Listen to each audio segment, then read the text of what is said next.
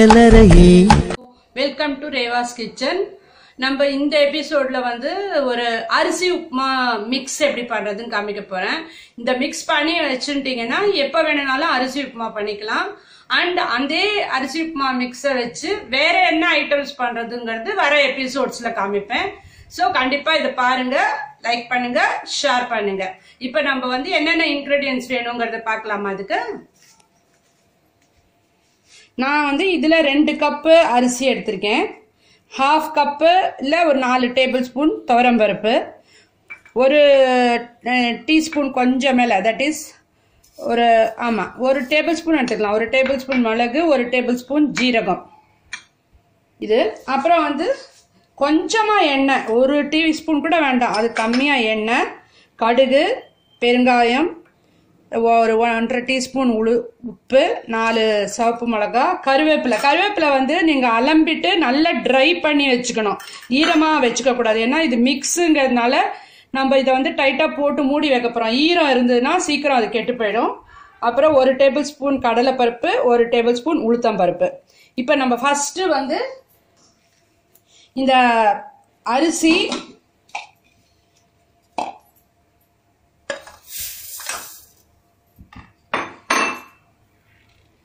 துவரம் பருப்பு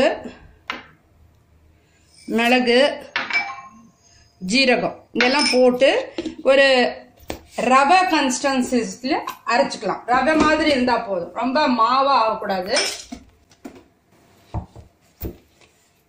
இப்போ இது பாருங்கள் இந்த ரவா கன்சிஸ்டன்சியில் அரைச்சி வச்சுக்கோங்க.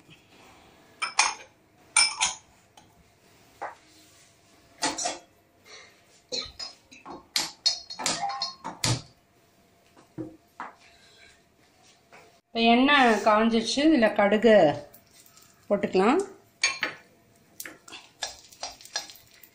கொஞ்சமாக எண்ணெய் விட்டுக்கோங்க. ரொம்ப எண்ணெய் விட வேண்டாம். இது சாதாரண எண்ணெயா நல்லெண்ணெயா இல்லை இல்லை. ஆர்டினரியாக ஏதாவது ரைஸ் பிரான் ஆயிலோ இல்லை அந்த கோல்டு வின்னர் அந்த மாதிரி எது வேணால் போட்டுக்கலாம். தேங்காய் எண்ணெய் தேங்காய் எண்ணெய் விடுவாங்க. யூஸ்வலாக அரிசி உப்புமாக்கு. ஆனால் இப்போ இது விட வேண்டாம். நம்ம அரிசி உப்புமாவாக பண்ணும்போது விட்டுக்கலாம். ஏன்னா தேங்காய் எண்ணெய் விட்டு நம்ம பண்ணி ப்ரிசர்வ் பண்ணி வச்சோம்னா சீக்கிரம் சிக்கு வாசனை வந்துடும் இப்போ இதில் வந்து இந்த கருவேப்பிலையை போட்டு கொஞ்சம் நல்லா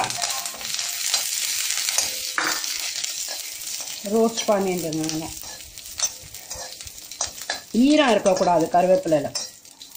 அப்புறம் பெருங்காயம்.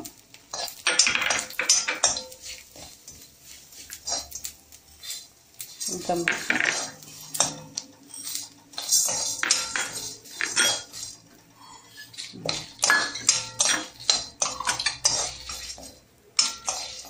இப்போ இது நல்லா வறுத்துட்டோம் சவப்பா. இப்போ நம்ம மிக் பொடி பண்ணி வச்சுருக்கிற அந்த மிக்ஸ் இதில் போட்டுக்கலாம். போட்டு உப்பு. போட்டு இதை வந்து ஒரு டூ மினிட்ஸு நல்லா மிக்ஸ் ஆகிற மாதிரி ஒரு டூ மினிட்ஸ் நல்லா வறுத்துக்கணும்.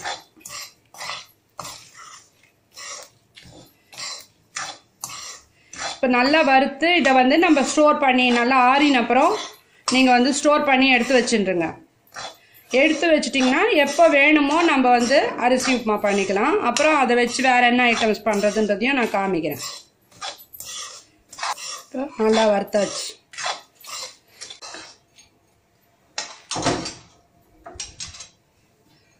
இப்போ நம்மளுக்கு வந்து ஒரு அரிசி உப்புமா மிக்ஸ் ரெடி ஆகிடுது இதனால் ஆறினோன்னா ஏர்டைட் கண்டெய்னரில் போட்டு வச்சுக்கோங்க.